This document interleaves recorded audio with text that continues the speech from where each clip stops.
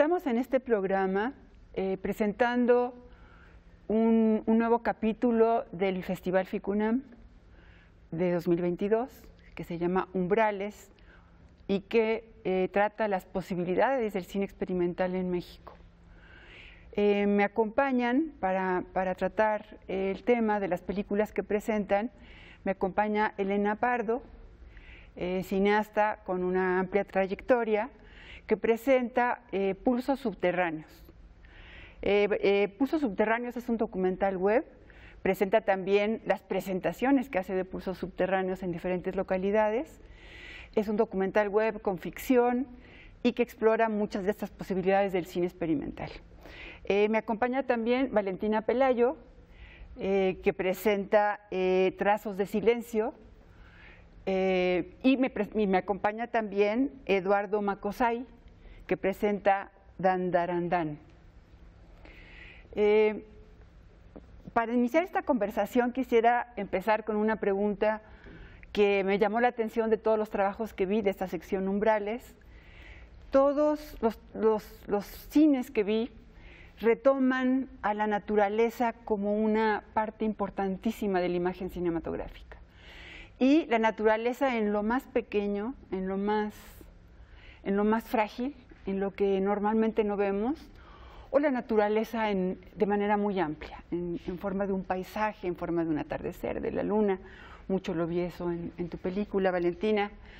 Y, la, naturaleza también, y eso permea todos los trabajos que vi de, cine experimental, permea eh, una reflexión de resistencia, de resistencia fílmica, de resistencia justamente a nuestro mundo, a nuestra naturaleza, apreciar las cosas.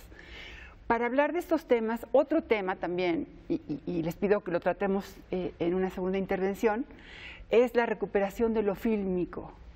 Yo por mi generación, lo fílmico es de donde yo vengo y de donde dejé de estar y me provocó pues mucha nostalgia, mucho amor ¿no? por, el, por el formato fílmico eh, me, llamó la atención que abrazan sus trabajos, incluso los defectos de lo fílmico, lo irregular del, sustrato fílmico, del cine, del proceso fotoquímico, de, la, sensación de la proyección con un proyector.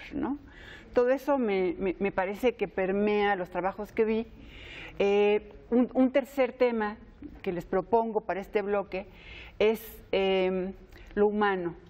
También hay un tratamiento del humano que por supuesto no pasa por una estructura dramática, eh, por una estructura narrativa convencional, pero siempre está el pensamiento humano, la voz humana.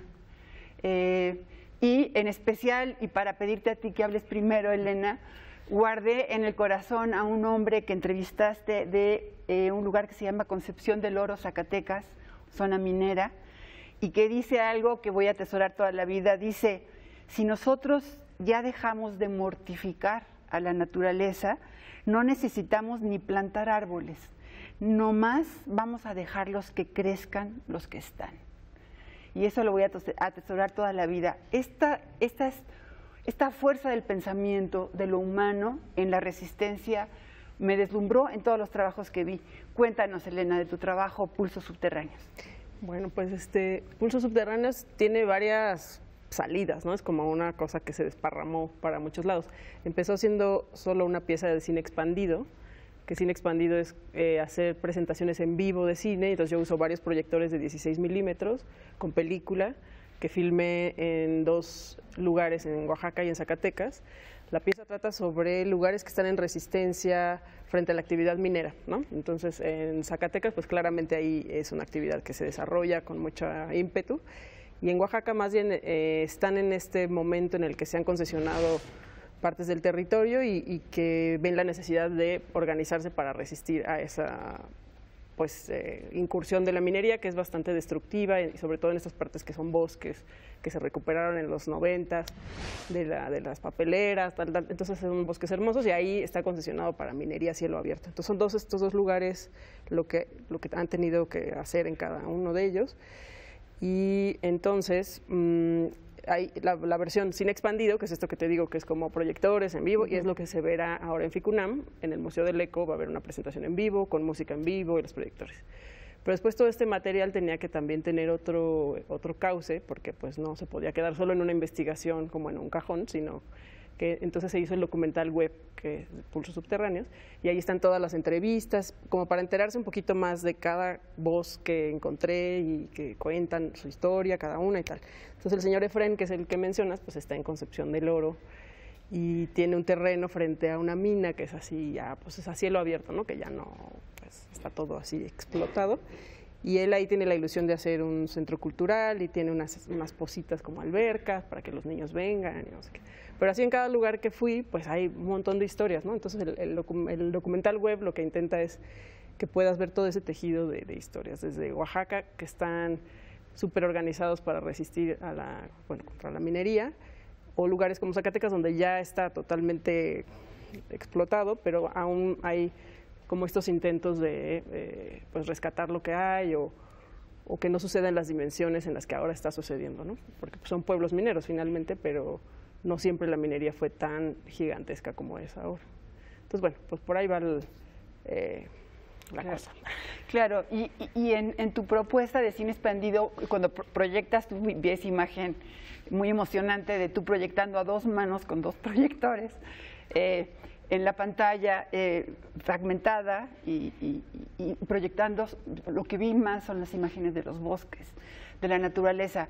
Hablas de la minería, de, de, de lo que la minería hace en términos de destrucción del entorno natural y presentas los bosques, ¿no? Y también la, lo que las personas comentan cuando tú les proyectaste esto, habla muchísimo de este amor por la naturaleza. En, en tu película, Valentina, pasa un poco contigo, en, en Trazos de Silencio, eh, también las imágenes son, eh, son de naturaleza, son bosques, son árboles, son sonidos de naturaleza, hay un, un, una, una, banda sonora muy rica. Eh, y la voz humana, ¿no? la voz humana y el pensamiento humano que, que, que manejas en, en, básicamente dos voces, ¿no?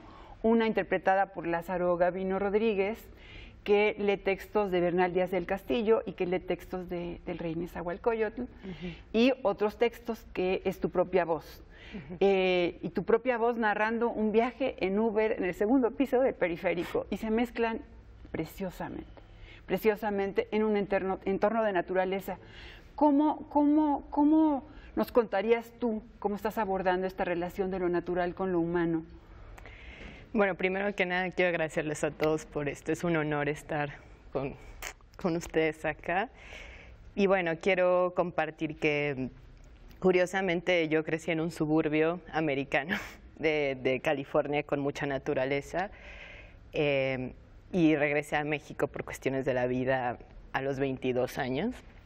Eh, y aunque yo crecí y nací aquí hasta los 9 años, se me hizo muy violenta, las, o sea, muy violento el regreso a México, no solamente por cuestiones de violencia, sino más que todo por lo que conlleva ser mujer en este país, como saber los códigos que yo no conocía, ¿no? Que tal vez amigas mías de acá crecieron con esos códigos, entonces es más natural para ellas navegar por la ciudad. Eh, y yo tuve que de alguna manera redescubrir todos estos códigos y siempre fui una persona muy independiente, entonces como que no entendía cómo tenía que pedirle a un amigo que me acompañara a mi casa a las 3 de la mañana. Yo no quería pedirle a alguien que me acompañara, ¿no? Entonces, pues me aventuré sola, como... Y una vez eh, tuve un trayecto en Uber que era en el momento que en México en el 2019 había mucha tensión porque empezaban a violar a chicas y llevárselas en taxis en el Estado de México y pues bueno, quieras o no tienes eso inconscientemente, ¿no? Y aunque no pasó nada, o sea, pues, gracias, o sea, al final soy una persona muy privilegiada, ¿no? Que, que, que puedo permitirme pagar un Uber y llegar a mi casa. Eh, se perdió el Uber, eh, se descompuso el GPS y yo me hice un viaje interno eh, y, y ese no es el punto de la película, que espero que se entienda. El punto de la película es por qué tenemos que hacernos ese viaje, ¿no? O sea, ¿por qué vivir en un lugar, en un espacio tan frágil que tienes que cuestionarte cosas, sentir cosas? Entonces, para mí un poco la película fue como una terapia, una terapia de poder como expresar todas estas sensaciones y también redescubrir un poco mi cultura, ¿no? Como entender el territorio mexicano, entender su, o sea, entender su historia, por qué es, porque es tal como es. Y me llevó a trazar las percepciones de la Ciudad de México desde Bernal Díaz del Castillo, y después ya empecé a leer códices florentinos, ¿no? Como me interesaba esta lectura de qué es un espacio eh, liminal, ¿no? Eh, donde se mezclan tiempos y, y, eso era un poco como la búsqueda de mi película y decidí no filmar nada en la Ciudad de México porque era un poco también usar el color como metáfora, buscar como mi mamá es de Aguascalientes, entonces filmé en Aguascalientes porque hay unos atardeceres preciosos, y es un poco como usar el color como metáfora, ¿no? Y las, los animales también como la fragilidad de las mariposas, ¿no? Eh, ese era un poco el tema de mi película. Y tú, Eduardo, en, en Dandarandán, que es un corto, eh, nos haces una propuesta de un bosque y los sonidos del, del, bosque son espectaculares. Creo que nunca había puesto tanta atención al agua corriendo o nunca había oído al hielo, y, en, en, tu corto sí pude escuchar el hielo. Eh, me, identificó, me identifiqué obviamente con unos viejos caminando en el bosque, que simplemente caminan. Y dije, yo soy de esos viejos que caminan en el bosque. En fin, cuéntanos un poco lo que, lo que tú, lo que, por, qué, por qué también en tu película está la naturaleza como, como dominante, como sobre todo hay que ver a la naturaleza, sobre todo hay que escuchar a la naturaleza, en este caso ese bosque. Sí, bueno, muchas gracias antes que nada por la invitación, estoy muy contento de estar aquí con ustedes. Eh, Dandarandán es un corto que surge después de pasar un año viviendo en los Alpes, eh, como que fue un corto que se materializó de una manera muy particular en el sentido que con mi codirectora eh, pues empezamos a intercambiar ciertas ideas que devinieron en, en, la narrativa, en la voz en off que, que hay en la película y empezamos a generar esta idea de una presencia no humana que ha abandonado a los humanos porque ya no saben escucharlos. Sin embargo, como que nunca tuvimos claridad de quién generó la idea o cómo sucedió, sino como que solo apareció en nuestras vidas y eso informó la manera en la que estábamos filmando la naturaleza, pero desde una distancia, ¿no? Una distancia que ya está presupuesta con, con la cámara, pero también es algo que ciertos psicólogos llaman como el déficit, déficit de falta de, de, naturaleza, ¿no? porque un poco como sujetos modernos eh, nos hemos y nos han constituido como alejados de la naturaleza a través de pues, la cultura como la entendemos en la actualidad.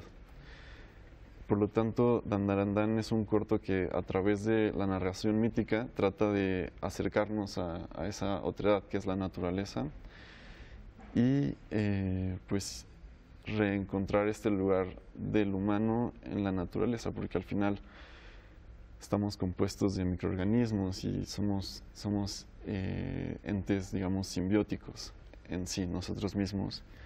Pero sin embargo hay como esta distancia neurológica tal vez que, que nos mantiene distanciados. Entonces, es eso, como a través del mito narrativo podemos reencontrar nuestro lugar allí en ese bosque de los Alpes. En los Alpes. Fíjate, sí. Yo decía dónde, pero sí, la nieve me llevaba a algún lugar que, que no conozco, ¿no? Sí. Quisiera hablar, preguntarles también sobre el tiempo. Eh, y, y, y, y, empiezo contigo, Valentina. Claramente tú juegas con el tiempo, ¿no? Y el tiempo es muy importante en el cine experimental. El tiempo se recupera en el cine experimental.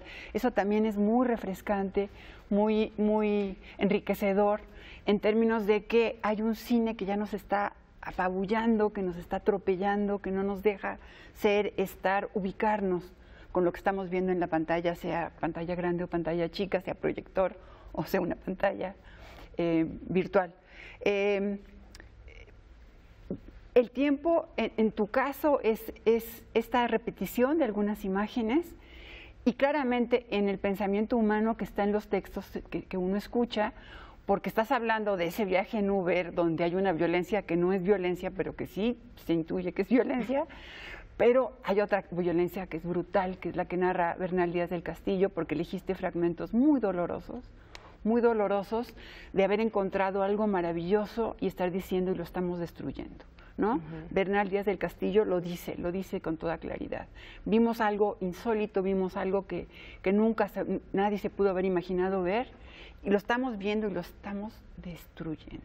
Lo dice el hombre. Uf, bueno, no quiero hablar mucho de política, pero es un poco, eh, bueno, inconsciente, bueno, el, hierro, el fierro, es un tema muy importante a través del diseño sonoro de la película. Y es curioso que estás hablando del tiempo porque yo no estaba consciente cuando estaba editando la película de esto hasta que el diseñador sonoro con el que estoy colaborando, Miguel Martins, dijo que a él se le hizo fascinante como, eh, digamos que los zapatos del caballo de hierro se convierten a través de la película en los ferrocarriles del tren. Yo no me puse a pensar en eso, pero de alguna manera es un poco como lo que sí me puse a pensar, que creo que fue como es un poco la violencia contra el paisaje, como, como el fierro eh, encuchilla el paisaje desde la llegada de los caballos, ¿no? Hasta hoy en día el tren Maya, bueno, ¿no? Pero quiero decir como toda esta construcción de destruir el ecosistema, ¿no? Un poco también creo que es algo interesante para, para ligar. Em, pero trato de jugar mucho con el sonido, como esa, ese viaje de, de los caballos hasta el fierro de los ferrocarriles.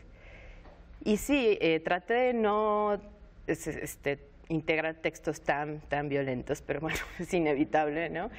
Pero creo que sí es un poco como hablando de, de, de cómo nuestro país ha atravesado mucho dolor, ¿no? A través del tiempo. Y también por eso creo que era importante mencionar como los sacrificios de, de, los mexicas, porque bueno, todo el mundo piensa, ay, sí, los españoles trajeron el dolor, pero ya había mucho dolor antes, ¿no? Eran como eh, un país muy salvaje. Entonces creo que era importante también como mostrar esas capas del tiempo, ¿no? Uh -huh. Uh -huh. y, y, sobre esto también de, del tiempo, en, cuando tú proyectas, porque la proyección, esto que nos explicas de cine expandido, uh -huh. eh, cuando tú lo proyectas en esta población eh, de Calpulalpan, en la Sierra Norte de, de Oaxaca, ¿no? una zona zapoteca, eh, presentas con tus dos proyectores imágenes que les permiten a las personas que están viendo ir pensando, ¿no? Les permiten ir calculando. En este caso es Oaxaca, donde han luchado contra la minería, por la naturaleza. Creo que la, la devastación es menos fuerte que lo que vi en tu documental web en Zacatecas, ¿no? Que sí es como muy doloroso el, la muerte y el dolor y la aridez que queda, ¿no? pero, pero en Calpulalpan eh, provocaste mucho orgullo de esta población que se resiste, ¿no? Y que sabe resistirse a la destrucción de la naturaleza.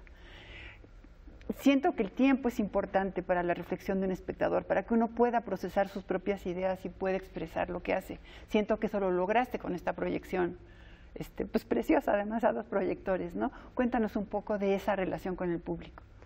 Mm, pues pues en el caso este de, de, la presentación en vivo de cine expandido, no hay o hay pocas voces, o sea, no hay una dirección tan clara de dónde, de dónde deben de ir las ideas de quien, es, quien está ahí, ¿no? Como que es bastante más abierto y es más una experiencia de las imágenes y de los sonidos en un tiempo como de media hora más o menos, ¿no? Y entonces eh, estás ahí pues armando tú la propia historia que tú crees o a partir de tu experiencia previa y la experiencia que estás teniendo ahí, pues te armas un, una idea y entonces pues hay ese um, espacio sin que se te dirija y eso es algo que hace mucho el cine experimental, como no, no, no narrar tan eh, o sea, queremos hablar de una cosa, pues no necesariamente va de A a B. A lo mejor hay como unos círculos, a lo mejor hay tiempo, a lo mejor hay imágenes que se repiten. O sea, hay otras estrategias para hacerte llegar a un lugar en tu mente o en tu estar ahí. Y entonces, pues sí, sí es importante. y entonces cada quien lo interpreta, ¿no? Como en el caso de Capulalpan, la, proyección que mencionas, pues ellos están súper organizados y, súper orgullosos de esa organización, pero a la vez ven que eh, esas concesiones duran 50 años, entonces que a lo mejor los, las personas que están ahí viendo esa proyección están conscientes de eso, pero no están seguros si en el tiempo las siguientes generaciones van a estar en el mismo lugar que ellos, entonces les preocupa eso, entonces es como que a la hora de ver realmente, y lo ven porque en esa proyección también se veían imágenes de Zacatecas, y pues ven lo que puede pasar. Además que ellos ya tuvieron minería y ya saben lo que puede pasar, pero no habían visto esa, o ellos no han tenido minería a cielo abierto, por ejemplo, entonces no han visto la devastación que queda después de esos procesos. Y entonces pues sí son ahí como alarmas de decir, bueno, hay que entonces, y que ellos lo tienen clarísimo, seguir pasando la, la estafeta a las siguientes generaciones. Entonces hay, el tiempo en muchos sentidos, ¿no? en el estar en una pieza de esas que te pone a, a darle vueltas en tu cabeza y luego pues relacionarlo con lo que tú estás haciendo y el futuro de tu espacio. Y, entonces, pues sí. esa reflexión del tiempo que provocaste con tu cine expandido y que se, se, se ve en lo que las personas dicen es la forma más luminosa de reflexionar el tiempo, ¿no? Que es el tiempo limitado que uno tiene y el tiempo que siguen los demás, que es maravilloso. Eh, voy a tener que terminar este bloque les agradezco mucho a los tres la participación en este bloque. Ya no hablamos de lo fílmico, ah, pero hablaremos que hay que hablarlo mucho sobre el cine experimental, pero lo hablaremos en el siguiente bloque.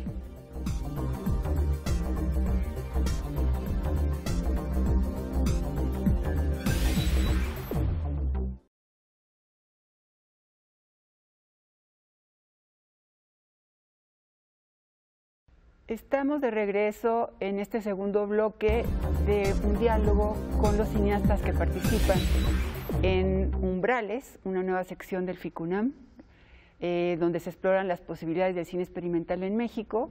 Y para este bloque me acompañan tres cineastas, Azucena Lozana, con, que presenta su cortometraje Tigre, Tigre del Carbón.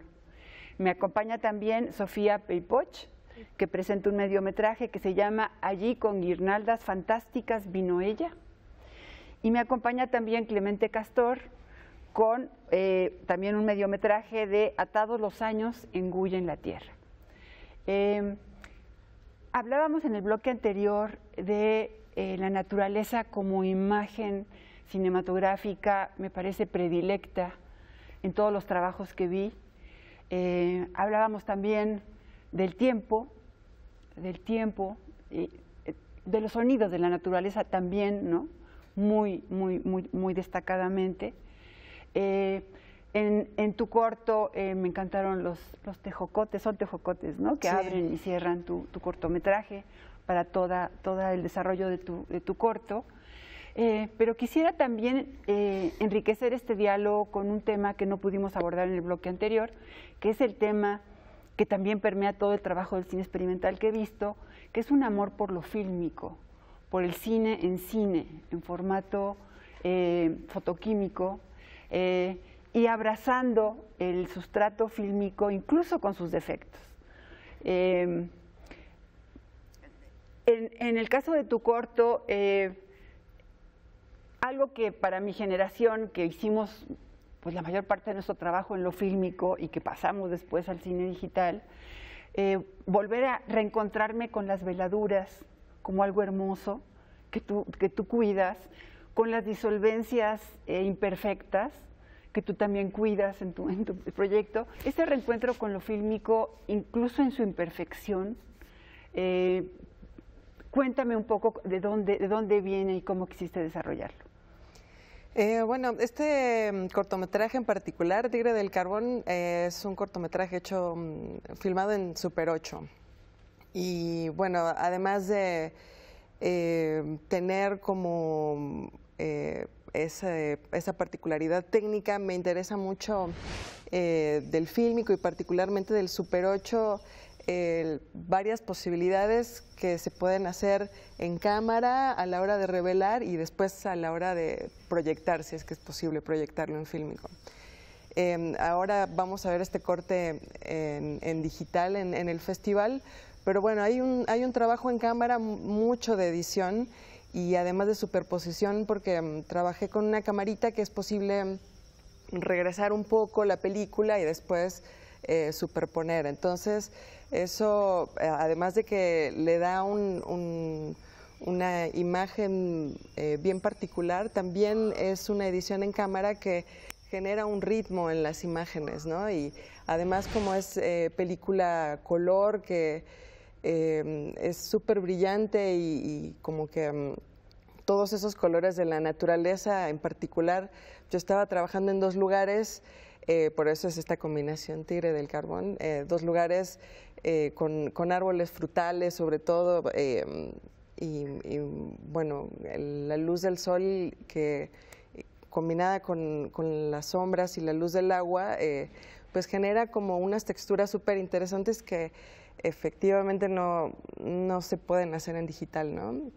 Entonces, bueno, eso que me preguntas del, del fílmico para mí es, fundamental en ese sentido, porque además esta edición en cámara a la hora de, eh, trabajar con un cartuchito que eh, tiene una duración de tres minutos más o menos, que suena como algo muy acotado en la era digital, pues es un montón. Sobre todo si tienes la posibilidad de, de sobreimprimir, pues estás como trabajando un montón sobre esos fotogramas que son muy preciosos. ¿no? Y tú hablabas en, tu presentación biográfica que leí, usabas la palabra, porque trabajas mucho en laboratorio, eh, el laboratorio eh, de la resistencia fílmica. Y esto de la resistencia es un tema que también permea los trabajos y también quisiera que, lo aborden. En, Sofía, en, tu, en tu película hay eh, una sucesión de de secuencias de imagen cinematográfica muy poderosas, todas son muy, muy poderosas, y en todas respetas muchísimo el tiempo del espectador, ¿no? Por ejemplo, cuando pasas de ciertas imágenes eh, blancas como de telas y de repente eh, me, llevas a un espacio en el que hay una presencia humana que, que es como de fantasma, que es como presencia, no presencia, y con un sonido que lo acompaña también muy fuerte y lo dejas y lo dejas unas escaleras, lo dejas para obligarme a que yo me reencuentre conmigo misma, piense y explore a profundidad la imagen cinematográfica y, el lenguaje cinematográfico que propones. Lo haces en todo momento en tu película, no, tiene desperdicio. las secuencias son todas muy poderosas en imagen cinematográfica. Y, no podía no acordarme de Tarkovsky, no podía no acordarme de su libro y no podía no acordarme de la importancia de dejar una imagen cinematográfica todo lo que puede vivir y todo lo que te puede aportar al, como espectador. Y lo haces y lo respetas en tiempos en que eso ya no se respeta, ¿no? En que siempre hay que pasar a otra cosa y hay que abordar otro tema. Cuéntanos un poco de esta relación tuya con la imagen cinematográfica.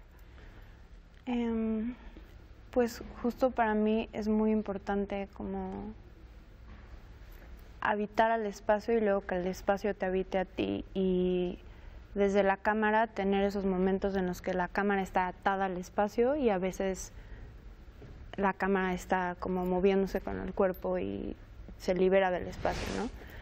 Y luego de la misma manera es como estos contrastes, o sea, justo pensando en lo que decía sobre la naturaleza hace rato, estos contrastes entre mm, cuando, cuando el espacio construido, que es violento en cierto punto, está siendo habitado, entonces la naturaleza es como movida, ¿no? Pero luego ese espacio se abandona y entonces llega la naturaleza y empieza a recuperar su propio espacio. Y entonces para mí es muy importante hacer tangible como el tiempo que nos toma recorrer un espacio, habitarlo y como todo lo que eso implica. Eso me remite a algo que, que, hablaba con, con, Elena en el bloque anterior, citando a, a, una persona que ella entrevistó, que habla de esto, de que la naturaleza, con que la dejes en paz, se recupera, ¿no? Retoma su espacio, ¿no?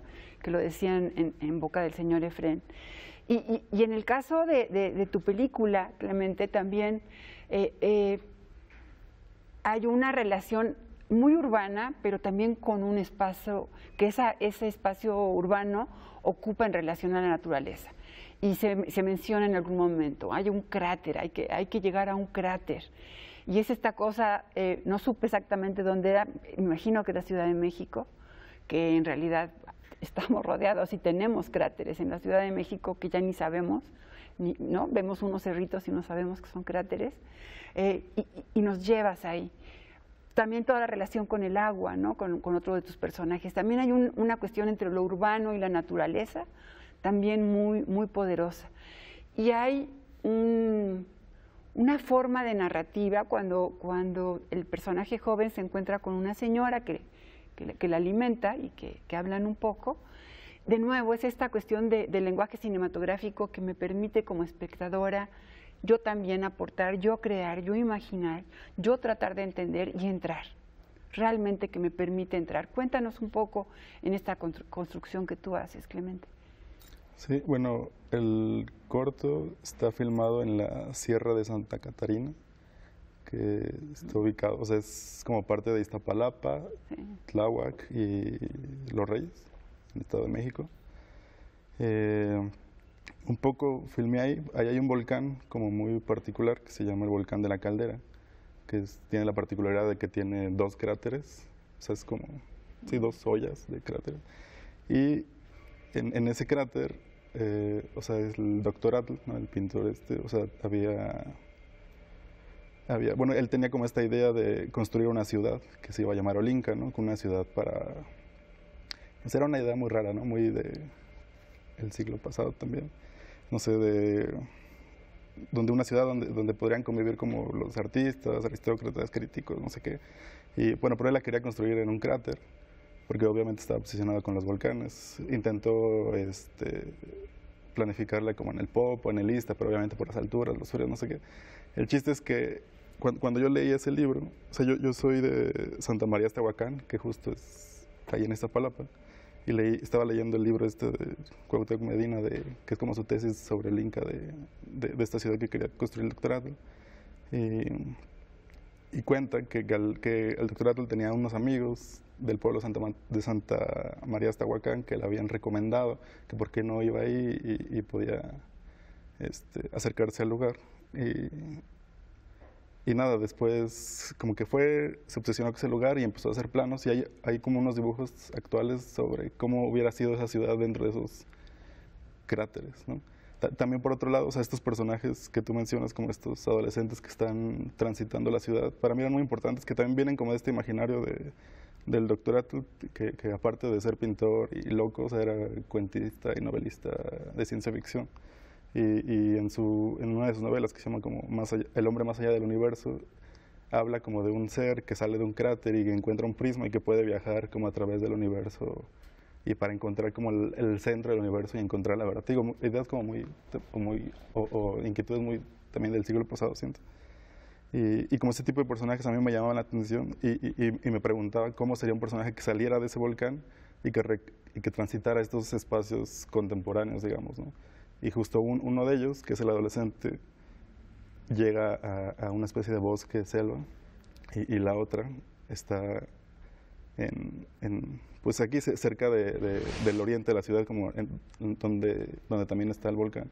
Y, y no sé, para mí era este, importante, o sea, obviamente también ellos, o sea, como no son seres humanos, digamos, o sea, como que su mismo tiempo corría diferente, ¿no? O sea, entonces, el, en el cómo ellos transitaban los espacios, cómo los iban descubriendo, cómo iban este, dialogando con otras personas, obviamente hay una intención en la misma película de cómo poder tratar ese mismo tiempo y ya.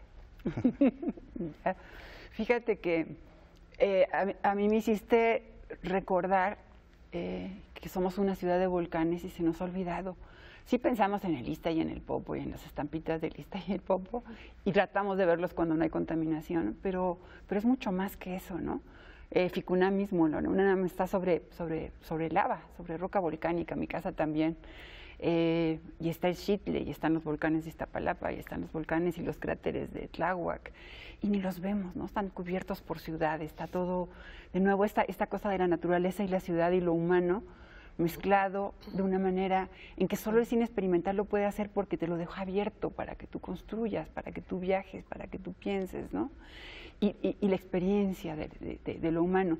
En todo esto yo encuentro también una forma de resistencia, no sé si tú lo, lo, consideres así, que es de nuevo utilizar el cine experimental para abrir cosas que se, se han cerrado en el cine, que no, otras formas de utilizar el lenguaje cinematográfico que abren muchas más posibilidades que el cine eh, convencional piensas en el público que va a ver, te hablé de, lo que, de cosas que yo sentí al ver tu película, pero piensas en la gente que va a ver la película, las tienes presentes, ¿qué, te planteas eh, haciendo tu cine?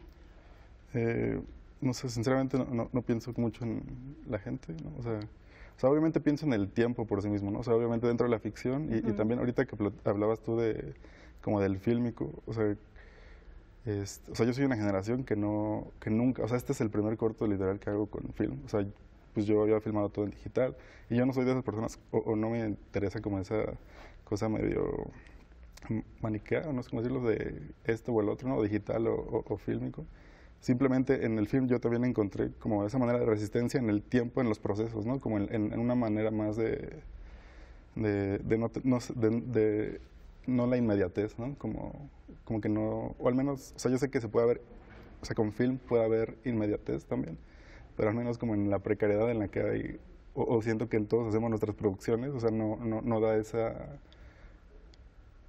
esa velocidad, ¿no? Para ver rápido los materiales, como que hay esta cosa de, de ir construyendo más lentamente y pensando y retrocediendo, equivocándose, como que ensayar, como que en esa manera de hacer cine es donde yo encuentro un poco esa resistencia, ¿no? Como no, como no estar siempre con una producción masiva o pensando derecho o cosas así. Claro. Les cuento a, los tres que son, son jóvenes eh, que eso ese es el mundo del que yo venía, esa, esa, ese trabajar en fílmico y jugártela en una toma, en dos tomas, porque nunca había más, ¿no? Y, apostar a que ojalá el laboratorio no lo arruinara. Y, en fin, esa precariedad que, que, soy sincera, me gustó probar otro formato, abracé lo digital muy amorosamente, pero todas sus películas me, remitieron al amor que tengo por el fílmico, que quedará para siempre. Eh, y, por ejemplo, en, tu corto, la irrupción de unas escaleras, un perro, un, niño, y creo que eso está acompañado por un sonido de como de granizo, ¿no? O de lluvia muy fuerte en una lámina.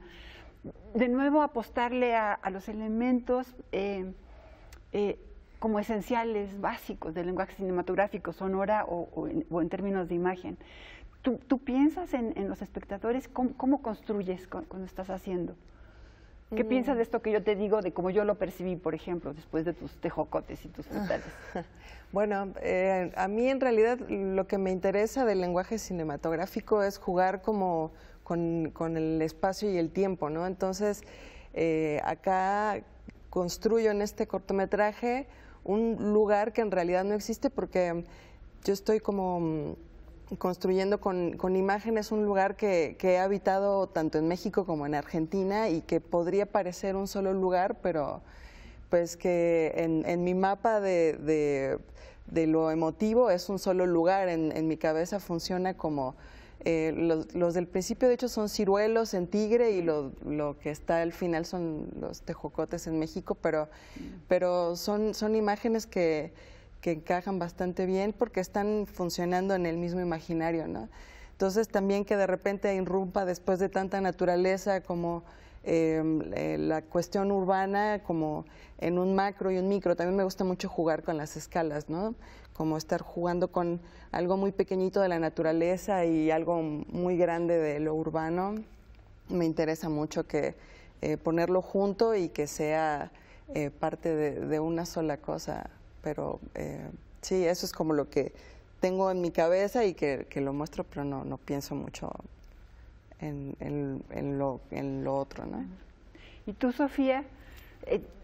yo sentía que, que, en la transición de, de, una parte a otra de tu, de tu cine, eh, había un desconcierto que era muy placentero. ¿Dónde estoy? ¿Qué está pasando? ¿Qué estoy viendo? ¿Qué estoy viendo? Y tratar de descifrar la imagen. ¿Qué estoy viendo? ¿Esto blanco qué es? Ah, esto es un rostro. Ah, esto es piel. Ah, es, ¿no? otros muy claros, ¿no? Esta es una habitación, hay un hermoso ramo de flores, pero lo demás, lo demás descifrar, hay unos retratos. ¿Tú cómo construyes pensando en quien lo está viendo? Cuéntame, por favor.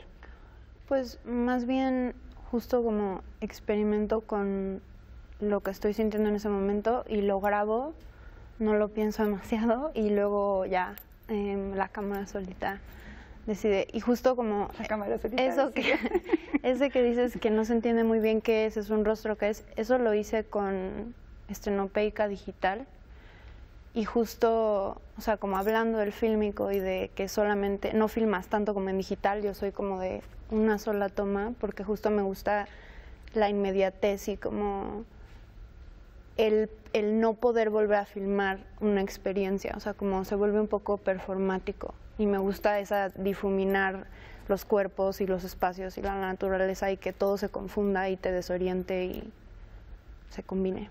Y el placer que derivas de eso, porque se deriva un placer muy grande de todo eso. Sí.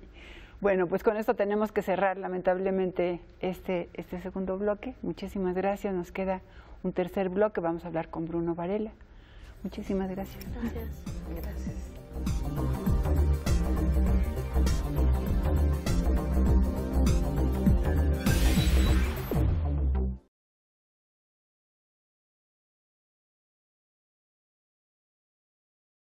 Entramos ahora al tercer bloque de este programa sobre el cine experimental en el marco de FICUNAM, Umbrales. Y, y, les comparto para, para empezar eh, una reflexión muy personal. Siempre que me han preguntado eh, cuál es mi película favorita, cuál es para mí la mejor película del cine mexicano, eh, sin ninguna duda siempre pienso en La Fórmula Secreta de Rubén Gámez. La Fórmula Secreta es una película experimental de los años 60 y es la mejor película del cine mexicano, en mi opinión, de toda la historia. Y es una película de resistencia, es una película que va a lo más profundo, a, nuestros orígenes, a nuestras raíces, que, va al originario, que va a, a la naturaleza y a lo humano de la manera más contundente y que es una película de resistencia. Lo era ya en los años 60, una película de resistencia, como todos los, trabajos que he visto eh, de, esta muestra Umbrales. Eh, ahora es el turno de una entrevista a un cineasta a quien quiero mucho, que conozco desde finales del siglo pasado, desde los años 90 y muchos, y, el inicio de los 2000, Bruno Varela. Trabajamos juntos en una muestra maravillosa que era Geografías Suaves en el sureste mexicano. Ahí nos hicimos amigos y le cedo ahora la palabra. Él va a hablar ahora de su cine y su participación con Esporas Neón en eh, Ficuna. Eh, estamos ahora en esta parte del programa para cerrar con broche de oro eh, con Bruno Varela. Bruno Varela, a quien nos une pues una amistad, ¿no? Una amistad de hace muchos años y, encuentros desde hace muchos años. Eh, ahora vamos a hablar a partir, Bruno, de tu participación en FICUNAM, en esta sección nueva de umbrales que, abrirá las posibilidades del cine experimental en México, eh, con tu película eh, Esporas Neón, que vi con muchísimo placer. Mira, Bruno, hemos hablado de la natural, del retorno a la naturaleza y a lo esencial de la naturaleza en términos de imagen cinematográfica en muchas de las propuestas que se presentan ahora en FICUNAM. Hablamos también de lo humano, de lo humano en la palabra, de lo humano en, el pensamiento de las personas, que también está reflejado eh, en, muchas de las propuestas eh, en esta sección. Eh, y hablamos en general también de que el cine que, pude apreciar en, la selección de esta muestra es también un cine de resistencias y eso me, emociona mucho. Tu película muy claramente que va a lo más profundo, que va a nuestras raíces, que va a lo originario, que va a lo esencial. Es una película de resistencia y, quería compartir contigo y, a ver si me, lo, me, quieres conversar al respecto de algo que en lo personal me emocionó profundamente en varias de las propuestas, prácticamente en todas las propuestas eh, de cine experimental que tuve el, privilegio de ver para esta charla, y en especial de la tuya, que fue el retorno a lo fílmico. Siendo yo de, una generación muy anterior a la tuya, incluso eh, que era la, generación que trabajábamos en fílmico, que trabajábamos con material de cine, que nos costó trabajo cambiar, cambiar de material para hacer, para hacer nuestro cine. Eh, la, propuesta en el cine experimental de retornar a lo fílmico, de abrazar el negativo, de abrazar el material eh, fotoquímico, de abrazar de nuevo el trabajo en laboratorio, todo eso que yo personalmente tenía yo ya como muy, muy, muy sepultado en la historia, me costó trabajo dejarlo, pero lo dejé y me olvidé, pues, y me sentí como muy reanimada al ver tu película por eso. Mi, provocación es la siguiente, en, tu película, entre muchas otras cosas, pero hablando de esto de lo fílmico, eh, me, emocionó tu amor por el material e, e, incluso abrazando sus defectos, ¿no? Las veladuras, eh, la suciedad en el lente, las, las, de basurita ahí bailando en, la proyección, eh, la inestabilidad de la imagen, el desgaste de la imagen, el grano, el, fotograma desgastado, este, eh, en fin, era como, como también una, una, recuperación de lo fílmico que me emocionó profundamente. ¿Nos quieres contar un poco cómo, cómo trataste esto en, en Esporas Neón y para ti qué significó? Por supuesto. y haría un breve paréntesis porque yo eh, tengo 50 años y de hecho estuve formado en un primer momento para trabajar con fílmico, pero nunca lo conseguimos. No somos esa generación justamente más joven eh, que nos toca un espacio de transición. Yo, yo soy un rechazado del, del CUEC y voy hacia la UAM Xochimilco, pero sí mis primeros contactos son con el fotoquímico 35 milímetros y con una Bolex, que, que resultan equipos eh, pues muy complejos, muy caros. No, no, no, es solo la complejidad técnica, sino toda esta sofisticación posterior donde se tiene que revelar, eh, transferir, montar, era inalcanzable. Entonces, en, en, ese momento, para hacer muy breve mi, mi, mi tránsito de ideas, eh, el video, ese, ese primer video me permite tener mis primeras experiencias, digamos, de, eh, sí, pues de, cierto ejercicio material con las imágenes. Entonces, pero tengo todo un, largo proceso, digamos, de investigación alrededor de lo que en, algún momento se llama video, video electromagnético, porque es donde me permito, también mi entorno, Oaxaca, y voy a ser breve, pero el fotoquímico siempre estuvo vivo y siempre estuvo vigente, y justamente en el 2000, eh, que es más o menos el periodo en el que nos conocemos, viene Jesse Lerner a Oaxaca al Cineclub El Pochote, eh, con lo que parecería que era el último, el último reducto de lo fílmico, porque ya está en ese momento absolutamente, eh, digamos, trazada la línea digital y quedan algunos pequeños eh, salvos, literalmente, de película. Entonces nos presenta el experimental, nos presenta trabajo como de Ricardo Nicolajewski, que nos conmueve muchísimo, muchísimo perdón, es el 2000. Y en ese momento yo intento, como puedo, ya con una larga experiencia, digamos, en el manejo de equipos y demás, eh, y con el material que nos presenta Jess y nos, y nos facilita, se, revela aquí además singularidades de Oaxaca como el Centro Fotográfico Álvarez Bravo, que es un laboratorio que siempre estuvo abierto y con una enorme disponibilidad para proyectos como estos. Se genera, digamos, todo un saber para ponerlo como en una idea que no tiene que ver con talento, sino con ciertos microclimas en los que yo pude, digamos, acompañar otros procesos y entonces, bueno, quedó ahí latente una, una experiencia importante.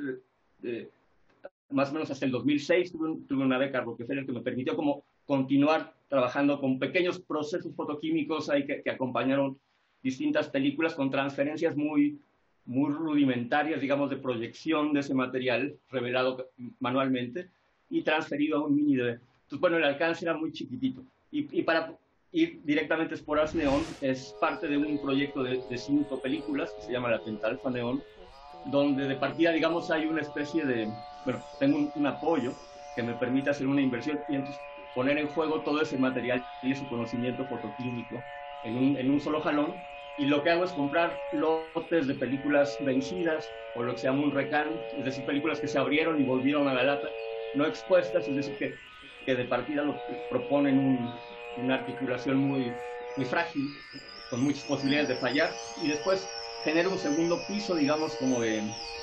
Y, es básicamente técnico, es como trabajo de, de cómo ese material va a jugar. Eh, el 16, por ejemplo, es una cámara Belan Howell que, no es reflex, eh, con unas ópticas que yo adapto, que vienen más bien del, mundo digital, pero que tienen la misma montura. Entonces, bueno, hay toda una articulación ahí, digamos, técnica, y el Super 8, por ejemplo, lo proceso yo en el Centro Fotográfico Álvarez Bravo, que estuvo abierto durante toda la pandemia. todo se termina escaneando, ¿no? Pues digamos, ahí yo puedo plantear una especie de diagrama y, de, y de, superposición de decisiones que son aparentemente de orden técnico y, y, de ahí pasaríamos a pensar en esta otra forma, digamos, en la que se articulan en ciertos lugares a ciertas horas, ¿no? Como una especie de, de cine de, de, acupuntura, ¿no? Y entonces una especie de, digamos, de trazado psico geoquímico, ¿no? Donde yo lo, que voy es tomando decisiones de filmaciones específicas y al final todo el proceso, digamos, de montaje, que además es muy interesante porque es digital, o sea, sí es bien totalmente fotoquímico, incluso en cubeta, ese, blanco y negro del que hablas tiene que ver con eh, procesos muy rudos, donde obviamente el material se lastima, y, las cámaras que estoy usando, aunque las limpio y soy cuidadoso, pues hago los cambios eh, afuera, ¿no? Entonces, hay evidentemente muchos momentos de incertidumbre que me parece que es parte, pero otras, otras ideas interesantísimas, yo que vengo de largos momentos del video, uso todo, ¿no? Para mí es toda una, una, lógica de pensamiento que no había logrado, digamos, poner en juego, y esto recibe del laboratorio 28 minutos y casi que está dictado que la película va a durar 28 minutos, de alguna forma, ¿no? Porque voy a ir incluso a los pedacitos, a los perforados que indican que empieza la imagen. Pues bueno, ahí es un trabajo, eh, no lo tengo tan claro, pero me interesa eh, socializarlo porque es más compositivo que de montaje, ¿no? O sea, incluso tendríamos que repensar lo que aprendimos como montaje en términos de puesta en relación para generar sentido y, y casi adquiere una cierta musicalidad. Y la otra cosa que es muy interesante para mí es que llega sin sonido, ¿no? A diferencia de todo el otro material con el que hemos procesado muchos diversos proyectos, de pronto llega aquí un pedazo pegado de material eh, sin sonido. bueno, por ahí podríamos empezar a, más bien a, ir lejísimos, pero sí es una, una forma de proceder sobre, sobre eso que dices, Bruno, y a lo mejor para cerrar, porque creo que no tenemos mucho tiempo, Pero, pero la banda sonora eh, también me, me, voló la cabeza. Me encantó este manejo, digamos, hasta en, en, mis tiempos existía el asunto de poner pajaritos en la banda sonora, siempre como recurso de poner pajaritos como para llenar la banda sonora y decíamos, faltan los pajaritos, o sea, era ya una frase, ya para mi generación, yo tengo 70 años y, para mi generación era poner los pajaritos, y resulta que me topo en tu película con una banda sonora, con unos cantos de aves maravillosos que me replantean este, este peyorativo, poner pajaritos eh, en otro nivel, y voces ancestrales y música. Cuéntanos un poquito de esta banda sonora, por favor, Bruno. Ah, para mí es todo un viaje también muy interesante porque está montada la película. Tengo incluso la línea narrativa ya planteada y hasta puesta en subtítulos, pero no suenan. Y entonces, bueno, ahí lo que yo generé es todo un proceso de múltiples laboratorios. Tú conociste a Steven Brown, que vive aquí en Oaxaca, con quien tengo 20 años de colaborar y que sigue siendo un cómplice. Entonces hay una, una serie de, digamos, de, momentos de acompañamiento. Le presento parte de las imágenes y hacemos música, la grabamos en distintas formas de grabarla, desde una grabadorcita chiquita hasta una sesión en estudio que pagamos. Y lo mismo con otro amigo, eh, Gabriel Elías, que es un, pues más un músico experimental, y tuvimos, digamos, varios momentos de investigación y de grabación. Y después, al mismo tiempo que yo voy a filmar, que voy a Mitla o que voy a Yagul o que ingreso a ciertos lugares, ahí hay materiales de distintos sitios, yo voy con mi grabadorcita y voy generando una serie de, de materiales que, que, posteriormente se, se vuelven eh, en diálogo con las imágenes, pero otra forma de composición, eh, digamos que articula la última, eh, la última sintaxis, digamos, audiovisual, ¿no? Y, y a veces, y la voz fue un, guiño último. Yo he trabajado, eso lo, comparto porque me, gustó mucho, con, con, los amigos de Tanix, en fin, con gente que habla distintas lenguas y que habitualmente los invito. Me interesa mucho casi ese sin tiempo, ¿no? Esa sensación de ser extranjero, que yo recuerdo como muy potente en mis primeras experiencias en comunidad. Y en este caso yo me fui más lejos y es una, un lenguaje completamente inventado por mí y trabajado como en una especie ahí de, de, gesto cultural, haciendo eco a cier, quizá a ciertas voces, pero es totalmente un, un constructo. ¿no? Es un invento, fíjate, me imaginé totalmente que eran voces ancestrales, así puse en mis notas voces ancestrales, y me llevaron a eso, ¿no? A, las voces ancestrales que uno nunca entiende, que uno sabe que, hay, una enorme sabiduría y que no, no estás allí. Y, está padrísimo que lo hayas eh, reinventado, que lo hayas creado. No, y fue todo un performance, yo no me vi, pero seguramente alrededor de, de todas esas voces hubo algo que sí me conectó con alguna ancestralidad, que es evidentemente un tema que me interesa que, ni siquiera es mesoamericano, que está fuera de los tiempos, ¿no? Claro. Pues bueno, esta, esta película de casi media hora, 28 minutos, Esporas Neón, de Bruno Varela, se, se puede ver en, en Ficunam, en la sección Umbrales, junto con las otras películas de las que hemos hablado, el otro cine, los otros cines y esto abre a las posibilidades infinitas de renovación del lenguaje cinematográfico y de reexploración del lenguaje cinematográfico con eh, artistas como, como tú mismo y como los, las otras personas con las que tuve el placer de conversar para hablar de esto, de las posibilidades del cine experimental, por llamarle de algún modo, del otro cine. muchas gracias, muchas gracias, Bruno. Un placer, un placer escucharte. ¿eh?